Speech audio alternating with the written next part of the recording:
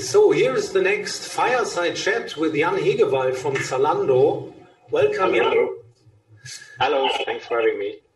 So you adjusted your background image to our fireside chat. That is great. That is a cozy environment. It's way more cozy than our uh, white background here. Yes, of course. I mean, you marketed this talk as a fireside chat, and you should not let your customers down. So I thought it's a good opportunity if we do it virtually anyway, right? So you are very customer focused at Zalando. I, I get it immediately. So that is great. Yeah. Uh, so we want to talk about um, your move from um, OKRs to another way of measuring uh, your initiatives at Zalando. So for me, it's fascinating when we uh, prepared for this interview, um, when you described that you really question your approaches all the time. Because uh, two years ago or so, I interviewed another product leader from Zalando, and at that time, it was everything about OKRs, radical agility. So, and now you uh, told me that uh, you do things different now at Zalando, and that's very interesting. And we will dive uh, deep into that uh, in a minute. But before we do that, could you give us a short introduction uh, to yourself? That would be great. Yeah, sure. My name is Jan. Um, from my background, uh, it's, I guess, very traditional. So I studied computer sciences. And while doing that, and also afterwards, when I started my professional work life, um, I uh, did uh, custom software development for big clients uh, with a company called Capgemini for, for nine years.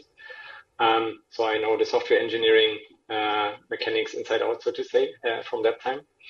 Afterwards, I was responsible for a small team of engineers uh, within Campana and Schott, and this was also yeah engineers as well, but we were more fo- more focusing on project, program, and portfolio management methodology and supporting tools. And it was that time when the agile methodologies uh, became increasingly popular. Um, and, and the first attempts around that uh, could be seen in the wild, so to say. Mm-hmm. And uh, yeah, and after that, I uh, then switched to, to e-commerce. Uh, so I joined uh, Idealo and worked with them for four years as a head of technology for, for business operations and B2B. And then B2B, um, for example, we took care of integrating the hundred thousands of uh, sellers that are uh, on the e-commerce market with the price comparison platform. And now, uh, quite precisely three years ago, I joined Zalando. Ah, yeah, cool. Very interesting. So Zalando is always the poster child for German tech companies. So people are always very interested in how Zalando is doing things, and we here at Digitale Leute as well, of course. Um, for the audience, that they get a little bit of a better um, idea for what kind of products you are responsible at Zalando. So your title is Director of Engineering Product and Category Experience. What does it exactly mean? Yeah. So for me, this means uh, my, my responsibility responsibility essentially consists of three parts. So first of all, I'm responsible for what we call the product offer platform. That's Zalando's central platform where we combine the product data that we have with the current stock levels of the various merchants or ourselves and uh, the prices into product offers. Then we also do the merchant selection, like choosing which merchant is the one that will become merchant of record, and then steering the availability of these offers on the various markets. That's one part. It's roughly a team of 16 people working on that. Um, then secondly, I'm responsible for what we call product experience um, and the engineering thereof. Uh, product experience is essentially the team that is responsible for the product detail page. So the page that you see if you look at one specific product uh, on Zalando, and um, yeah, where you can also add it to the bag and so on. And thirdly, I'm also responsible for a team that we newly built this year. Uh, it's called Category Experience. And with that team, we want to de-average the, the shopping experience per category. To give you one example, if uh, you're shopping for beauty products on Zalando as well, we do want to do this in a different way than if you look for uh, for for fashion, because for fashion it's uh, relevant what's the material, what's the size, and so on. And for beauty, it's more for relevance. What's, uh, for example, your skin type if you're looking for skincare products. And so, uh, yeah, so the, the second team, the, the product experience, the one in the middle, uh, consists of roughly 38 people all over. And this category experience team that is newly built consists of roughly 12 people currently. Mm-hmm. Interesting. So, and um, the team, uh, which roles are in the team? So you said now the the amount of people who are in the in the teams. So what kind of skills do they have? Mm-hmm. that varies. So if we look at the product offer platform, again, this is rather a back-endish data processing platform, right? So mainly we do have product managers, of course, in there, um, and then mainly back-end engineers. Uh, also some analytics support, but but mainly it's back-end engineers. If we look to the two other teams, product experience and category experience, these are um, uh, more diverse cross-functional teams. So they consist, uh, first of all, also of UX designers, um, and of course also product management, also engineering. Then we also have to differentiate uh, between web and app channels. So we have um, teams for iOS, for Android, and for web. And there's also a bigger focus on, on the analytical part, but really the big difference is, is the focus or the addition of more uh, UX uh, and UI designers. Mm-hmm. Okay, so um, when, when we started with the talk, and also the title of the talk is about your uh, prioritization processes um, at Zalando. So, could you tell us a little bit um, about this change uh, from the radical agility term to what you do now? So, how how how can we understand that? Yeah, as you rightfully said, um, some years ago we were doing uh, quite intensely this this radical agility, and this radical agility was based on the idea that in order to to work with so many teams, so currently in Zalando we are around 200 delivery teams spread across three countries. Um, if they want to work on the various parts of the systems independently, they really need to be able to do this uh, with uh, the least uh, dependencies that you can have, being it technical, being it organizational. And so the goal was really to have them uh, work autonomously. Mm-hmm. And we achieved that. And also you need this microservice architecture thingy for that and so on and so forth. And, and we had all that. But uh, what we then encountered is that these teams, um, also cross-functional, of course, um, they then start to also work and think locally. So to give you an example, it can mean that you're optimizing your some conversion rate by 0. Point something percent, mm-hmm. or that you're uh, cutting your costs by X percent or something. And while this is cool, and we also need to have this capability to develop these uh, all things uh, in parallel and independently, it becomes hard to do things that cross many teams. And then uh, one thing that we tried to to to leverage as a means to implement that was OKRs at that time. So I mean, the goal of OKRs is to kind of set alignment across many teams and to work on bigger things. Um, didn't work very well with us. Um, I think for many reasons. One reason is that OKRs work so much top down and bottom up that there was always too many of them. So all of the teams had multiple. Some they wanted to set themselves. Some they uh, got uh, derived from the uh, the goals that were given uh, from from the top. Some that they were asked to contribute to by other teams that needed something to to achieve their stuff. And so it was always hard to really do this and execute it. And so um, last year and this year, we've changed to a more uh, flexible process that's also no longer bound to the strict rhythm or cadence that you have with OKRs. Um, but instead, we now have a kind of rolling product um, development process, which is based on a rolling prioritization of what are the big things that we want to do. And they can be they can be uh, suggested, for example, bottom up. So normally, product managers from any team can come up with a, such a big idea. I mean, one recent example to make it more tangible is we recently launched what we call pre-owned. So this is the ability for you to extend the life of the fashion that you've bought. If you're bored of uh, whatever you have in your wardrobe, you can uh, sell that back to Zalando if it's still in good shape. And then Zalando would resell it to, to other consumers. So it would extend the life of the fashion. It's, it's more sustainable and uh, also gives people the, the ability to also purchase those goods. Um, and you can imagine this is a super complex project because it requires uh, logistics, it requires the experience when you're buying this, it requires uh, implications and, and, payments and so on and so forth.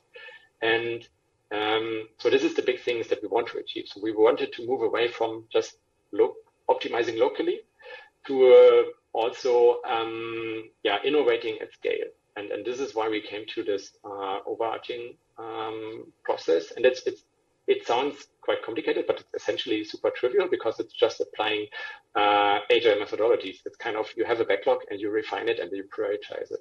So any product manager can come up with a big idea, like for example this um, pre-owned fashion, and then we we go through a process and we determine is this really a problem worth solving for our customers? Is this really a problem that our customers' life would be easier if we solve it?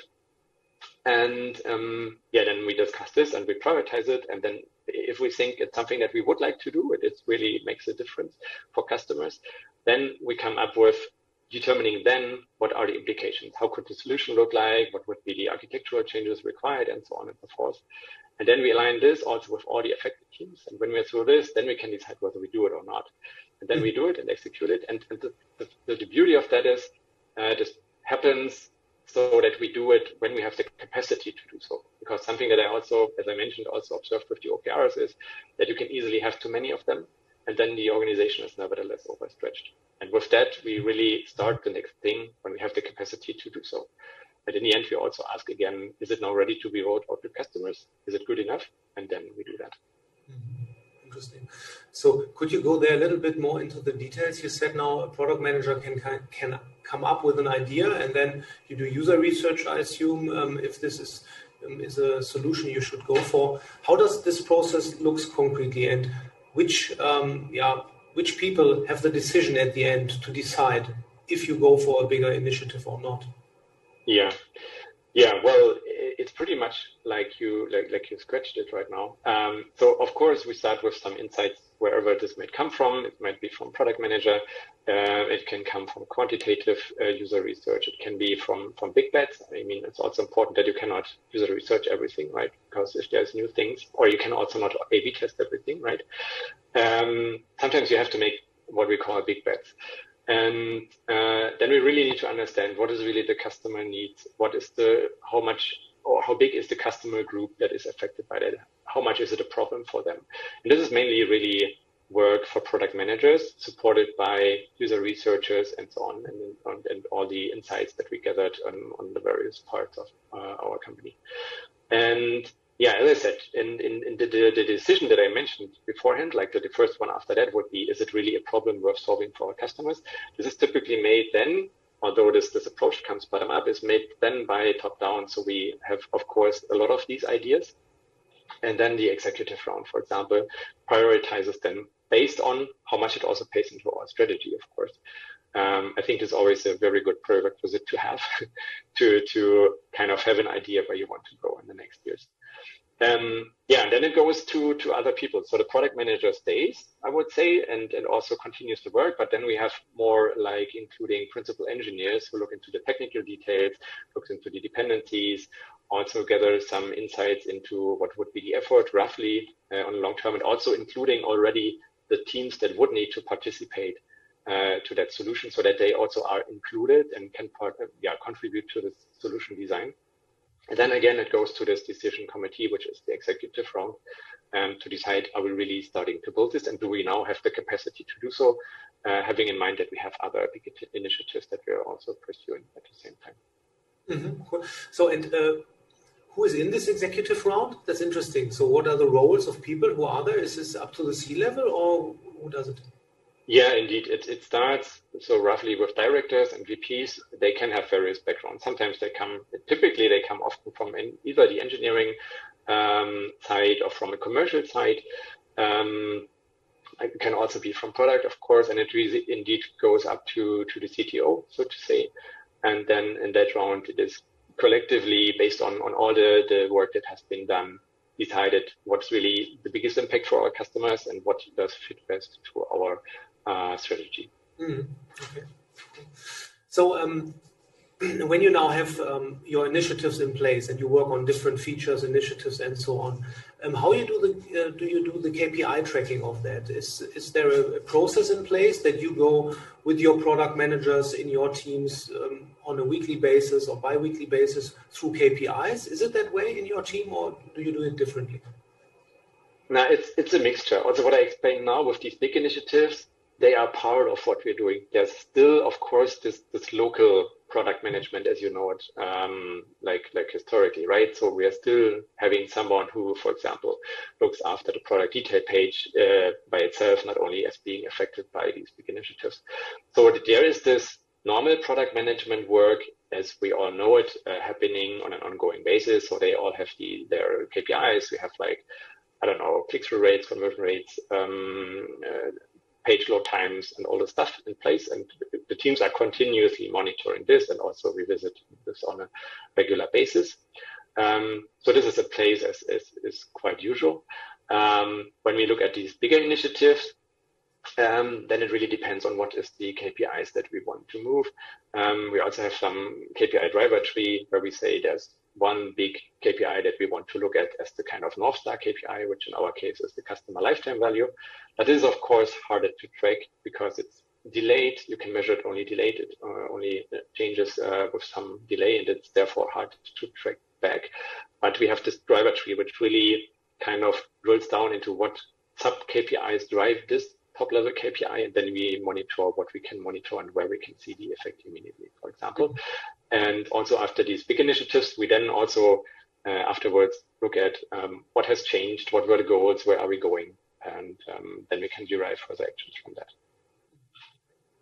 So we, we could talk a long long time about that. We could dive deeper into this, but we only have a couple of minutes left now for the interview, and because we want to also go to question and answers. So I just have uh, one or two questions in another direction. So the role of the product owner. Yeah. Mm-hmm. Um, do you see something? What changes there? Is this role constant, or do you see something happening in this role in your in your teams? Yeah. So first of all, we don't call them product owners anymore. We call them product managers. And I think there's also a good, valid reason to do so. If you look at, for example, Scrum methodology and the role expectation there, I, am a little bit exaggerating, but I see it in a way like the product owner is kind of taking care that the backlog is in, is in good shape, technically well formulated, and does some prioritization. Um, and then also when the when the delivery team has uh, implemented a ticket, then uh, that's the uh, final uh, confirmation that everything was fine. And I think this is something where we we moved away quite a bit and still are moving. So what we really see is that product managers take much more responsibility. Um, like also determining what is really customer problems that are worth solving. When I came to Zalando, I was a little bit surprised. It was very engineering led, I would say. I would say this has now changed a bit uh, to be more product led, and I think that's good. Um, and the product managers, they really, from my perspective, their their kind of work was elevated. So they are no longer they, they are of course also looking. There are some especially more junior ones, for example, that are looking at this local stuff and, and taking care that, for example, the PDP itself performs well. And then there's a growth path for them to extend the domain that they work on and, and really think about in these in these bigger scopes. Um, yesterday there was this great talk by Curtis uh, about uh, explaining product management in six diagrams. And if you remember, there was one diagram about the level of knowledge the product manager has, and it was like essentially in your team, the level of knowledge is high, and uh, the further you get away from that, the, the, lower is the level. I think this is perfectly true, and it's also a problem because this hinders you as an organization to really work and come up with big problems. And this is why we also elevate product managers to have more time to really uh, be engaged in the early discovery phases. It doesn't mean they are not part of the other ones, but also um, in, in some of my departments, for example, also uh, the engineers take much more responsibility. So it's not like if you're doing delivery that the product manager needs to answer all the questions of the engineering team, but they do it themselves. So it elevates their responsibility and their way of working, and they can take care of bigger and, and really holistic end-to-end things. At the same time, it gives the freedom to the product managers to really also take care of, of broader uh, topics and to be more invested in the early discovery phases and coming up with the next big, uh, potentially game-changing ideas. Mm. Yeah, that's interesting. But you call them now product managers, not product owners anymore. Ah, okay. Yes. Yeah. Exactly. So uh, probably the last question from my side. So what does it take to become a product manager at Zalando? So it's probably interesting for a lot of attendees here at the Digitale Leute Summit. Yeah, sure. Um, I think two things are kind of essential, uh, but like uh, in every company. So you need to have the, oh no, it's different, I would say. Motivation and desire to learn and grow. Um, I mean, I've been working in very excellent companies before. I, am I'm, I'm happy to say I'm in a very fortunate position. Um, nevertheless, the density of the really excellent people is uh, in Zalando is higher than I've seen anywhere else. And and so you really also should be motivated and desire have a desire to learn and grow, and that's a perfect um, environment then. Um, and then of course cultural fit and agile mindset. When it comes to specifically product managers, I would say um, you need to have also the customer mindset. So always thinking from the customer's end um, and thinking about things that make a difference for customers. I think it's easily said, and I think it's like everyone can say that, but I, I've not seen so many companies who really do it because also, yeah, business partners are super important and we can compromise on customer experience here and there. And we try to avoid that. I'm not saying that we're perfect at that, for sure not. Um, but we really start with a customer mindset. And this has also turned many solutions that we planned for in the past around into something that is more customer centric. And the other thing is you need to be able, we have a principle that, that is um, flying high and diving deep. So the idea is you need to be able to really ele- fly high and fly high and dive deep. Okay. So you need to be able to elevate your perspective or the domain that you look at to really broad one but at the same time, you should also be able to go deep and uh, understand, uh, if needed, uh, what is a very specific problem around that. Um, this comes down to you should be able to do data analysis also yourself, uh, even if you are responsible for something big, um, and so on. Mm-hmm. And yeah, just starting to think beyond these local scopes that, that product owners were very much attached to. I think this is super interesting uh, and, and, and, vital to be a successful product manager. Mm-hmm. Yeah, interesting. So we could dive a lot deeper into everything here. So um, I would give it now to the audience uh, that we get some questions. Um, so Victoria, do we have questions from the audience? Yes, we do. So we have two statements, more or less, and two questions here. The first um, thing is um, TJ wrote, you might be interested to look into mobiusloop.com, outcomes for impact Maybe this is interesting for you, Jan. Um, Thomas wrote that uh, sometimes a simple change in wording can make a change. So this uh, thing with product owner turning into product manager, he also thinks that it's um, it, it, makes a difference, really. And then we have a question by Rosa. She's asking, is dynamic goals at team level only? It sounds to me that at company level, the strategy is quite defined, but at team level is where the flexibility lies. Yeah, first, thanks for the hints. I, I will look into that. Uh, very nice. And I also agree that mainly always uh, so many questions are just a mindset question. And so uh, also our wording frames our mindset. So I definitely agree. Um, these flexible goals, I would call them uh, not necessarily flexible goals because they are defined, right? It's more like we don't have a, a static process. We have a kind of rolling uh, process for goals. And they start from indeed uh, from from the also the company level. Like like I explained this example of um, these pre-owned items or pre-owned fashion. Um, that was something that was uh, set and that really affected, I don't know how many, but definitely a two-digit number of, of teams. And um, yeah, this was set in there. Um, and nevertheless, it's right. There is a flexibility in the team. So this is also, it might sound a little bit uh, like waterfallish, what I described earlier on, this process of, of having these kind of, also you could call it stage gates if you want to. It's not that like that. It's really more making sure that we work on the right stuff. And then we have the freedom in the teams to really implement that in the best way, uh, in the most efficient way and figure that out. And indeed, we also had to learn, I, it would be another talk by its own, uh, but what uh, we also did in, in some of my teams is we moved away from these classical engineering component teams where one team is responsible for like component A, B, and C. And we now form them also around these business goals. So if we have these business goals, then we kind of uh, make a pitch from product side to towards the engineers. What's the goals? What is roughly the scope? And then engineers can say where they would like to work on. And then we form a team, of course, based on the needs that are required, like the skills and, and so on um, and a team that works on on that scope uh, enough end to end, end to end within the department, not really end to end. We're not there yet, unfortunately, but maybe we get there. Um, but really, we make sure that the team flexibly uh, adapts to this goal uh, instead of uh, having situations that we had in the past where maybe multiple goals focus on some same components. And then this meant that this one team was super overloaded and other teams were not that busy. Um, so we rather adapt now the, the, team structures to the things that we want to achieve uh, rather than picking things that could fit to the team structure that we currently have. Thank you. Um, so we have more time left. Um, we should go for more questions from, from the audience. Yeah, maybe one last question. Um, how autonomous are the teams at Zalando really?